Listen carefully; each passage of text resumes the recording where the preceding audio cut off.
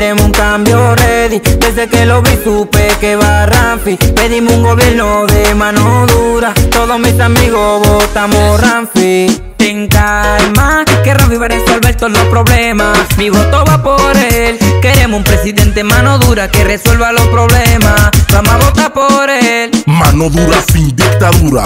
Mano dura contra la corrupción. Mano dura contra la invasión haitiana. No nación sin Dios y sin la Biblia. Y para gobernar se necesita la palabra de Dios. Tenemos un compromiso con este país que nos nacer. Y ese compromiso lo vamos a acatar de la mano del próximo presidente de la República, Rafi Domínguez Trujillo. Ranfipa presidente, ya lo dijo el país. Ranfipa presidente, ya lo dijo el país. Ay mamá, ay papá,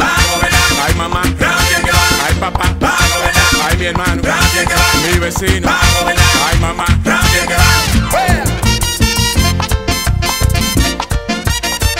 Elio Torres, Jesús Mena Parido. Me siento feliz, el pueblo dice así. Me siento feliz, el pueblo dice así. Ranfipa presidente, ya lo dijo el país. Ranfipa presidente, ya lo el país. nada más y nada menos, señores, que a alguien que eh, hasta hace poco fue dirigente en el Partido Revolucionario Moderno y que hoy está aquí con gran parte de sus seguidores para decir que se suma a la causa Rampis 2020. El Iván Esteban con nosotros.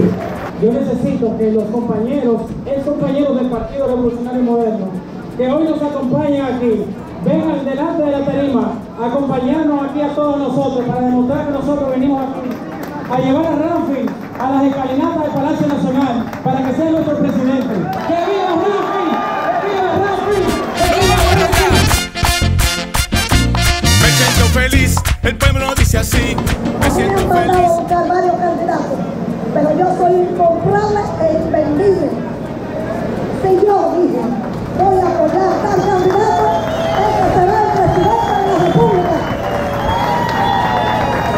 Hoy tenemos con nosotros la presencia de un ex dirigente del PRD.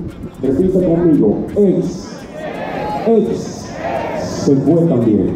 Está con nosotros con el fuerte aplauso de ustedes, con la algarabía de los franquistas de corazón, con la algarabía de los franquistas de corazón.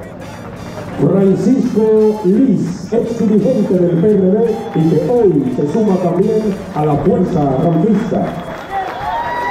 Y le digo porque usted, usted será el próximo presidente de los República. Dominicana y la diáspora dominicana en el extranjero está está frente a ustedes desde este Comando Central de Campaña Ramfis 2020 para la República Dominicana y el mundo. Ramfis Domínguez